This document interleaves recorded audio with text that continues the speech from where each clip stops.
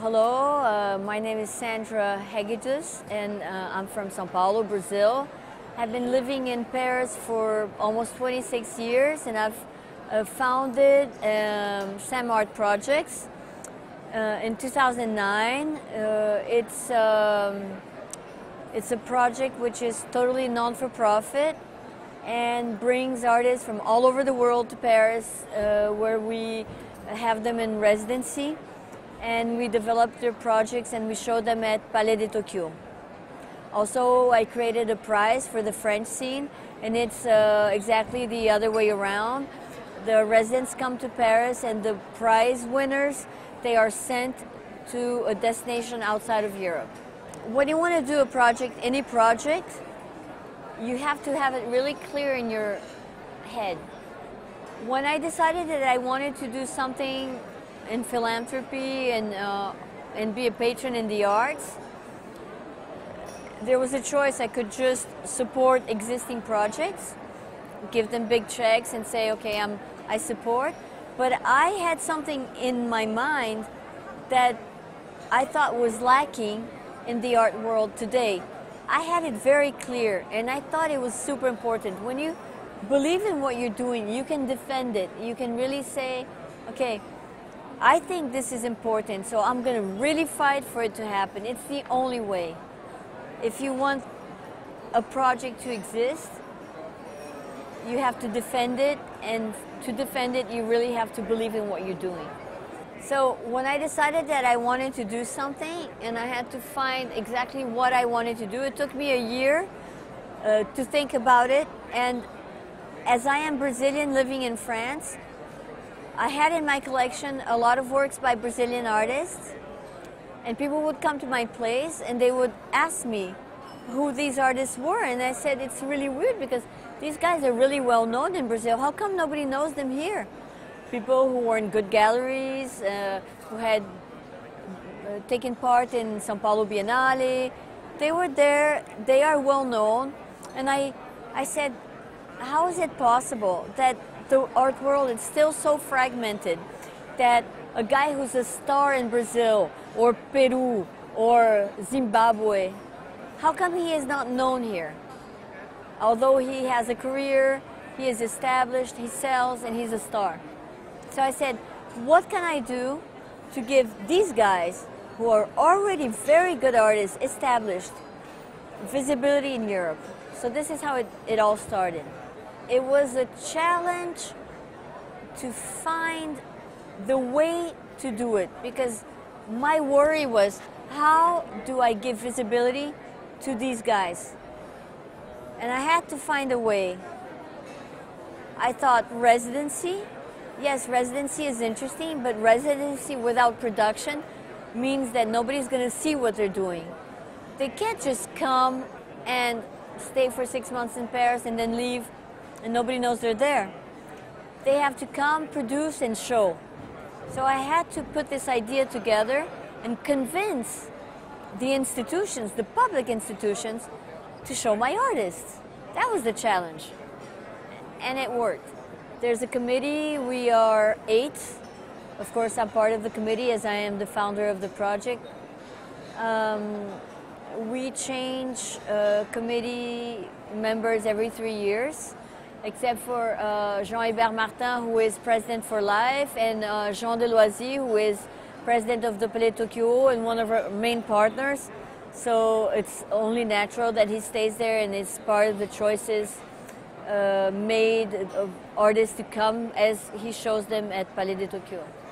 I, I know the people in the art world and I try to bring into the committee people who have um, a very wide spectrum of, you know, uh, not only uh, local artists, but have uh, in, in their minds artists from all over the world. And I invite them for example, uh, some of the new people who just started um, the board this year uh, are uh, Thierry Raspail. Thierry Raspail is uh, um, director of the Museum of uh, Contemporary Art in Lyon, but he is also the, the, the man who created the Lyon Biennale. and I know that he has his eyes going all over the world to bring artists for the Lyon Biennale. So, of course, he's a man who will interest me. Uh, Marie-Ann Yemsi, uh, who is really focused on Africa, uh, seemed like a very good choice because Africa interests me and I'd like to bring more and more African artists uh, in residency in Paris. There's a lot to be done. I am not Parisian, so I did not go to school with the people uh, who are now in charge of things. I don't have that network of growing up in that place. The challenge was starting and being uh, credible, uh, uh having people believe uh, that what you have in your mind really is going to happen and that they should give you a chance. That's the biggest uh, challenge, starting. Once you start, and the big projects and interesting, uh, mind blowing projects start going on, uh, for sure, um, uh, it gets easier because people see what you're doing and you are um, credible because they've seen the projects. But to start is really hard.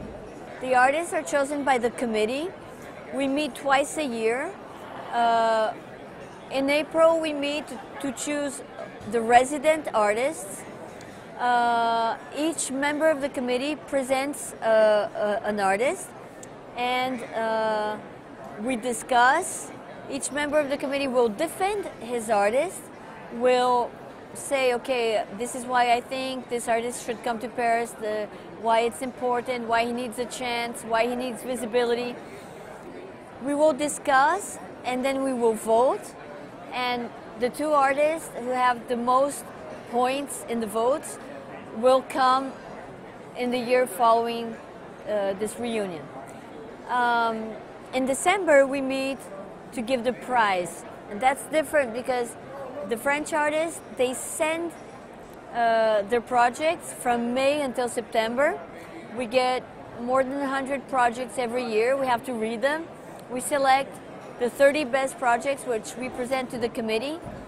They will read the 30 projects. They will choose the ones they prefer. Out of their choices, we will uh, get to five best projects. These are the finalists. And in December, we have a meeting where we discuss these five uh, uh, best projects and we choose one which will win the prize. Oh yes, I have a private collection. This is something different. It has nothing to do with Sam Arts. It's very personal. Uh, I only buy things that are um, part of my worries. Uh, there are different themes uh, related to things that worry me, and I I by myself. I have no nobody counseling me. Uh, it's very personal. The passage of time worries me. Uh, uh, the loss of uh, some insouciance, uh, um, nostalgia of childhood. Um, certain things like that, no, not social, but it's a, a responsibility to keep art because you have to, when you, when you collect the art of your time, you have in your house the production, the vision of artists of your time. So you keep this and you are responsible to, to giving it to your children or to institutions. So this, this vision of our times is transmitted. This is the responsibility. Keeping this vision, making it go forward. I, I can't do that because I live in only one location. I live in France, so this is my base. Although we have been uh, invited uh, several times to show what has been done by SAM in other countries. We have shown uh, our artists in countries like uh, Poland, in Belgium, in Brazil, uh, in um, uh, Korea, in Argentina. the works travel. Sometimes we make, we produce uh, uh, works that are are then shown all over the world, uh, or they give us an opportunity to to create something new. For example, when we did uh, the show at the Cab in Belgium, they said you have to choose an artist and bring him to Belgium in residency and do a project here, which we did with a Brazilian artist called Rodrigo Bueno. So it happens that we show in other parts of the world, but um, we can't be based anywhere else because we I physically work with the artists. I meet them, uh, we produce them, uh, we follow them, we, we do networking lunches so people meet the artists, you know, journalists, collectors. So it's a big work and we have to be there. I think that it's a responsibility to make the choices, to make the good choices, to produce this vision and to push it forward. What happens then? I don't know. I'm just hoping that I'm doing a good work with these good people in my committee, that we're being serious about it and making the, the right choices